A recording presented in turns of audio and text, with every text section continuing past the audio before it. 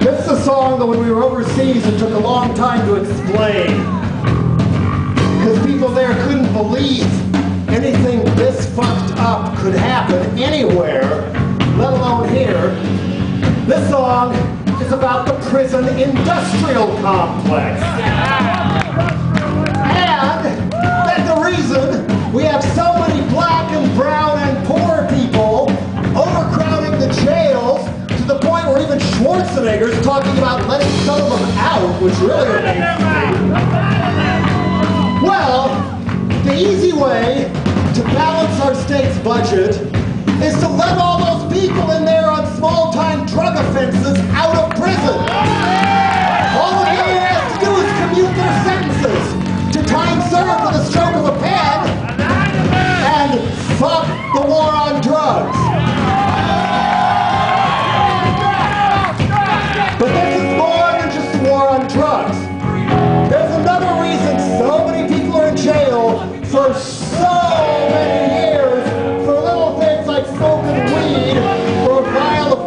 If you couldn't get away from that shit. It's because so many prisons, especially in this state, are private